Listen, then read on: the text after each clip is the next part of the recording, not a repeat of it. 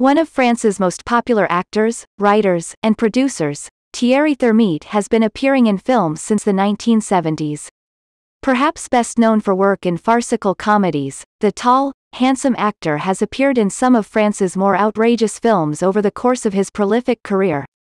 Born in Paris on November 24, 1952, Lhermitte began his career as one of the founding members of the comedy troupe Le Splendid.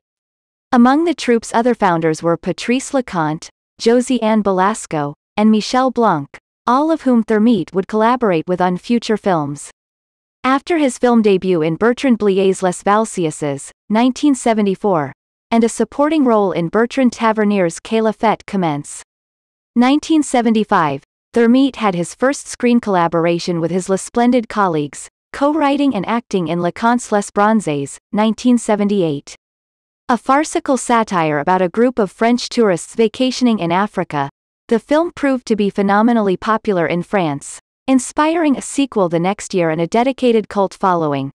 Lhermitte subsequently made his mark starring in a number of comedies, including Les Hommes Preferent les Grosses, 1981, with Balasko, Jean-Loup Hubert's L'année prochaine. Si tout va bien, 1981, with Isabelle Adjani, and Blier's La Femme de mon Pote, 1983. He maintained a prolific work schedule throughout the 80s and 90s, continuing to play the romantic lead in comedies of every possible variety for a diverse array of directors. Lhermitte also continued to collaborate with his Le Splendid colleagues, starring in Leconte's 1993 Tango as a man intent on murdering his wife after she leaves him, and alongside Balasko in Grosse Fatigue, a comedy that featured Michel Blanc both directing and acting in a double role.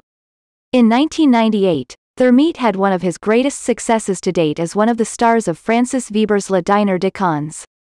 A witty comedy of manners, it featured the actor in top form as an arrogant publisher put in his place by the seemingly moronic man, Jacques Villeret, he has invited to his weekly dinner of idiots. One of the most popular films to be released in France in years, it was a phenomenal hit with critics and audiences alike. In addition to acting, Lhermitte has continued to work as a screenwriter and producer. In 1994, he wrote, produced, and starred in the children's comedy Un Indien dans la ville. Three years later he served as the associate producer for its American remake, Jungle 2 Jungle. Tilda Rebecca Flint Marks, Rovi Children, Victor Lhermitte, Louise Lhermitte, Astri Lhermitte Soka Father, Andre Lhermitte,